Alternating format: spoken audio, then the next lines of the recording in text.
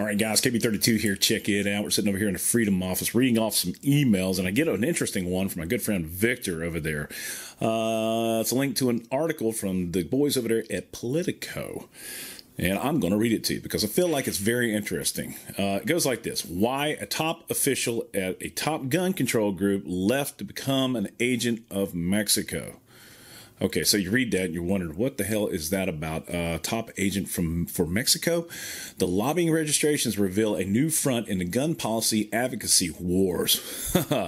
All right, here we go. This is by Hailey Fuchs and Myah Ward. Uh, this was issued yesterday at 4:30 a.m. in the morning. Okay, former top lawyers at the gun control advocacy group organization Brady have formed a new gun policy venture, and they're registering as foreign agents of the Mexican government as part of it. Okay, so this comes as part of like you know the the lawsuit that that judge threw out, uh, said it was bullshit.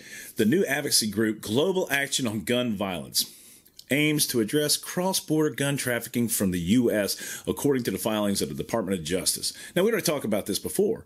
And basically, uh, Eric Holder, uh, Barack Obama, you guys are the ones that should be getting sued right now.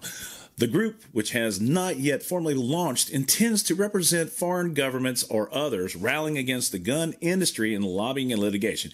And see, that's that's pretty much what it is. It's not about the gun violence. Guns don't create violence. But what they want to do is they want to destroy the gun market, the gun industry, which is pretty interesting. Uh, let's see here. Okay. It is led by Jonathan Lowy, the former chief counsel at Brady, who directed the organization's legal arm for years. Interesting. Advocates have long shed a spotlight on illicit trafficking of firearms into Mexico, arguing that it fuels drug trafficking. So, wait a minute. Guns going into Mexico fuels gun trafficking, or was I say drug trafficking? Hmm. What I do know, and I can tell you, is open borders really are an advocate for uh, drug trafficking. yeah, let's see here. But Lowy's move still represents a major shift in the world of gun policy advocacy. Lowy has been a key player at Brady, which has helped wage some of the most high profile legislative fights around gun control, but primarily in Washington, D.C. and state houses. The launch of the new group underscores how the theater for action has expanded globally.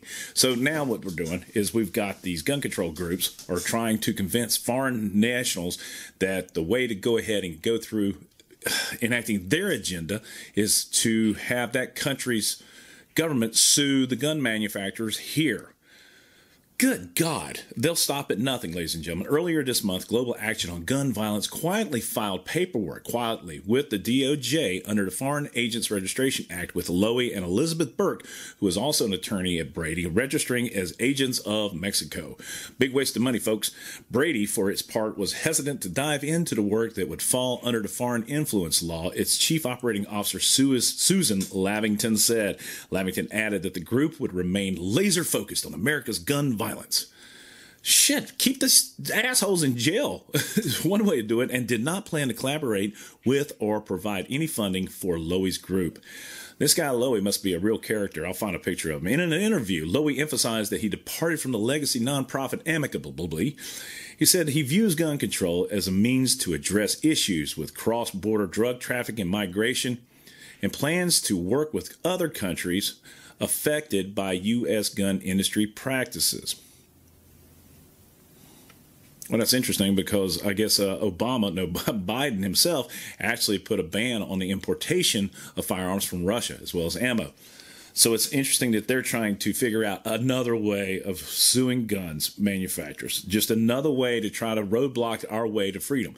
The guns that are trafficked across the border is like the venom in the cartel, he said. That is the venom that makes them dangerous. I got news for you, guys. They got plenty of guns over there. They don't need us. Gun control advocates have warned that proliferation of guns in the United States is fueling destabilization in Mexico as weapons pour into the country illegally via straw purchases, who pass on the weapons to smugglers. I got a great idea. Why don't you build a damn wall? We can keep all the guns here. How about that? what a novel idea. Okay. Uh, who pass on the weapons to smugglers, says Stephen Hargarten, an emergency physician in the Medical College of Wisconsin. uh, gun violence person. All right, so this guy's up in Wisconsin. What the hell does he know anything about the borders? It's estimated that there are more homicides in Mexico linked to U.S. guns than there are in the United States. Ah, uh, okay, whatever. How about they're linked to Mexicans shooting Mexicans? The problem, the advocates say, has been exacerbated by a loosening of U.S. export restrictions. Gun manufacturers and interest groups scored a win in 2020 when the Trump administration moved export license oversight from the State Department to the Commerce Department, easing export laws and increasing gun sales and illegal trafficking of weapons. I don't understand the illegal part of it. If Trump supposedly made it so much easier, then why would somebody have to illegal traffic guns? Uh, yeah, with the growing recognition that gun violence is a global health problem, multiple groups have come onto the scene in recent years to take part in highlighting the issue. Hargarten said, litigation is among the tools, he said. to have someone like Jonathan Lowy decide to devote all his attention to this, I think is evidence that this is a big deal.